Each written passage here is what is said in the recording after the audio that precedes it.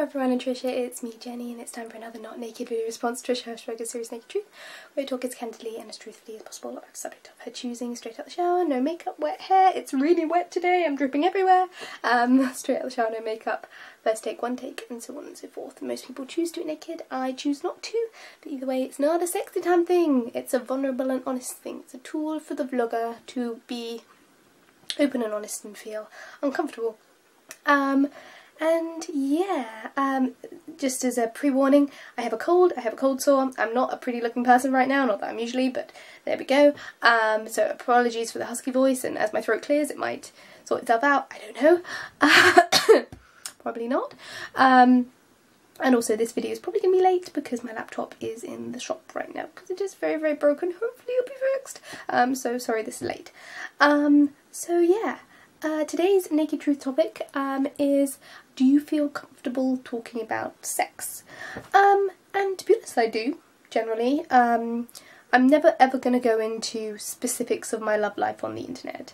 In the same, for the same reason that I don't do these videos naked. Um, it's not an equal relationship.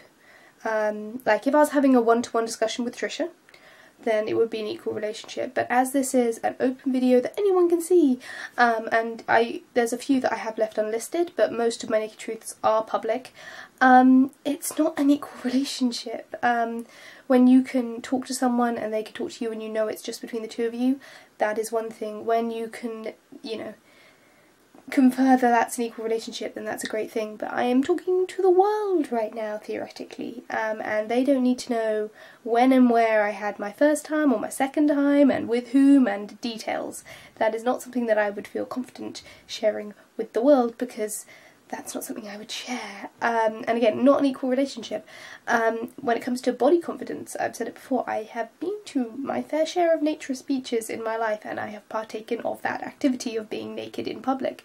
And that is an equal relationship where you can, you know, be naked in public and everyone else is naked and it's nothing because it's just is. Um, so, yeah, I don't feel confident talking about details of sex on the internet, but I will you know, the anatomy and the A's to B's and the general etiquette of it, I'm absolutely confident talking about on the internet because I feel like it does need to be vocalised. Um, and I feel like I had a, a, pretty good education overall on the matter. Um, I think in secondary school from year 11, from year 7 onwards, so when you're 11 years old, we did basic education and that was, you know, separated by genders for the first, I think, until we were about 13. So the girls would go off and they would talk about periods and managing themselves and um, all of those sort of things, and the boys would presumably talk about dealing with their issues during the early start of puberty um, and how to deal with that sort of thing. Um, obviously, I wasn't taken into those ones, but there we go. Um, and then every year we'd have a kind of rehashing and a developing of those things, um, including, you know, condoms and bananas and that sort of thing. So you get to, excuse the pun, get grips with the concept. Um, and, you know, talking about the risks of different types of intercourse and different types of um, intimacy. Um, and that also we did social kind of as part of that we did social studies so we understood things about different gender relations, different sexualities, all those sort of things. Um, and that was just the A's to B's of it in school. On top of that we had biology as a subject where you learned about reproduction. You learned about, you know, the developing human body as they go from, you know, pre-fetal to developing in puberty. Um, so yeah, like I felt like I had a very good basic knowledge of physical anatomy. Um, on top of that, my parents, like I adore my parents. I think they're one of the two best people on the planet. Um, but they were also very open and very honest about sex and sexuality and all those sort of things. Um, like I know in their heart of hearts, I'm sure in their heart of hearts they would love me to bring home a, you know, heterosexual uh, partner and get married in church, but they're, I think they would be actually horrified if I were to consent to an engagement without having intimacy with that person. I think they would be horrified by the concept of that. Um, because for some couples, I'm sure it is possible to have a happy a romantic relationship without intercourse, but for the most part, it is an essential part of it. Um, and I think they would feel very uncomfortable if I were to consent to spend my life with someone whom I didn't know if we were compatible in that way or able to discuss it. Um, yeah. Um, on top of that, like, I think it's one of those things that um, I'm sure for other people, well, this wasn't the case, but because I was always so informed about it and so aware of it, um, you know, I never had the experiment, experiment, let's, I have no idea what I'm doing, let's do this, or the, you know, the, um, stress of being like, it's denied, oh, I've got to do it because I can be a rebel. Um, you know, I'm very, very sure that my parents would have been pretty happy if I, like, and knowing me and respecting me as a teenager, as an adult, I think they would have been very, very happy with me going out and then coming home and talking to them about it. If, you know, whenever that situation were to occur, I think they would have been very happy with that um, because they knew that I would have talked to them about it. Um, and when it comes to talking, like, to the internet, as I said, I don't discuss anything like any details or anything, but I am so lucky to have two sisters who are approximately the same age as me, one of them is the same age as me, um, who, you know, we all have a very similar mentality. We've all, we've grown up together in a house of mostly girls, um, we've shared baths as a kid, we've camped together, we've, we all know what we've got, we all know how we deal with certain aspects of our life emotionally and physically. Um, and we do discuss details. You know, we'll have those discussions, and yes, sometimes it might involve a little bit of alcohol, or sometimes it might just involve us getting a, like awkward pauses, or you know, all of those sort of things. But I've had discussions with my sisters which are, do you want to talk about this? If you want to talk about it, it's absolutely fine, we'll talk about it. If you don't want to talk about it, well, let's not. And yes, sometimes those discussions have been embarrassing and intimate, but I always know that I have those two people in my life to call who, no matter what I'm going through, I can talk to them about anything. Um, I mean, it helps that one of them's a doctor, but you know, that is there. Um, similarly, I have one best friend in the world who is amazing, who I've known my entire life, who has a, a, much wider experience in life in certain aspects than I do, and I know I can talk to her about those things. Um, similarly, I have some other friends who are more recent acquaintances and more recent friends, but I feel that given the right circumstances and depending on the subject matter, I could talk to them about things that make me feel very uncomfortable in detail is as necessary, and if it does get too awkward, we can walk away and it won't affect our relationship negatively. Um, when it comes to my parents, I feel like I would go to my sisters first with most intimate issues, but my mum is a pre she was a nurse, so you know if I'm feeling uncomfortable in that physical sense, I can go to her, um, and I feel like I can discuss most things with her.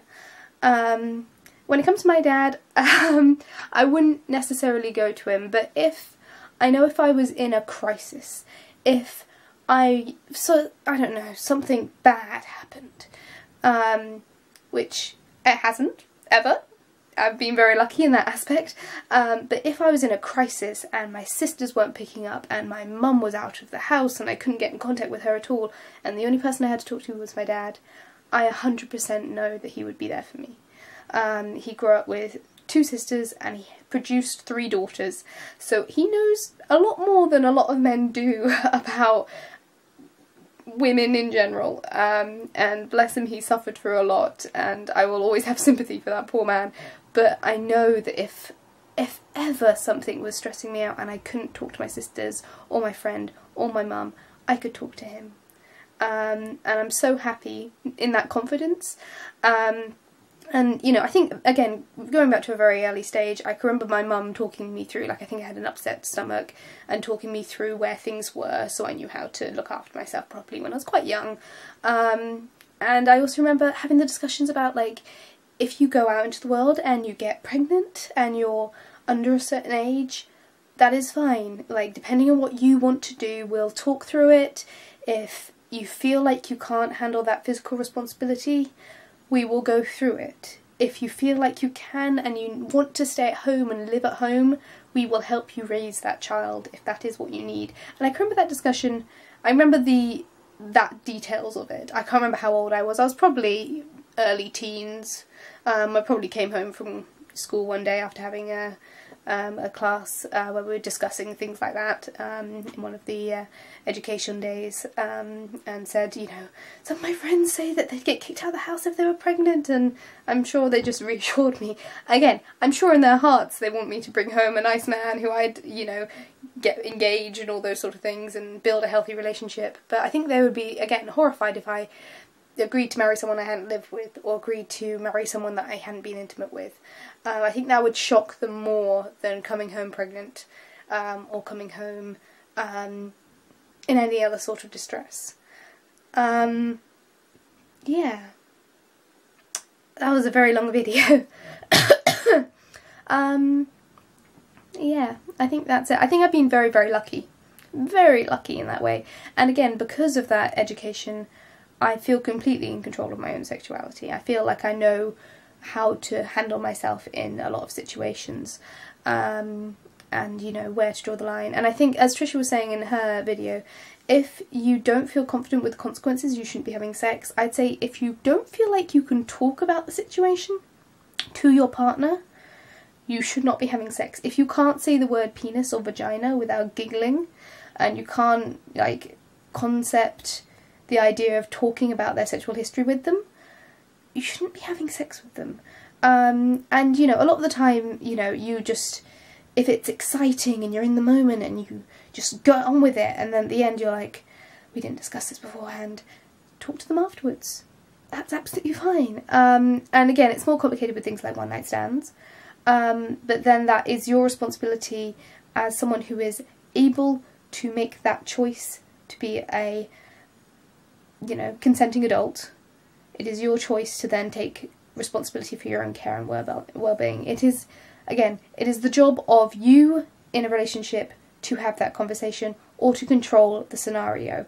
So if that involves protection, which it should, um, it is not, it is your job to do it, and that is speaking to both boys and girls. You know, regardless of whom you are having sex with, regardless of if it's heterosexual, non-heterosexual, polygamous, anything, it is your responsibility to make sure you are safe. And if possible and ideally you should also be thinking of whether or not your partner is safe. Um, you know don't just think of yourself think of your partner. Um, and I said before in one of the other sexual topics for the naked truth um, sex should be sloppy and messy and fun and it's awkward. It's meant to be awkward um, but I can almost pretty much guarantee that it's less awkward and more fun if you actually feel comfortable with your partner. Guarantee that. Um, and a lot of that comfort comes from knowing their sexual history and knowing that you're both in it for the same reasons. That is an uncomfortable term of phrase. Um, but there we go. I've talked way too much for someone who doesn't have a whole lot to say, um, but there we go. Thank you for watching. Feel free to comment. Um, as I said, this video is going to be late, so I'm sorry. Um, but yeah, thank you for watching, and bye for now.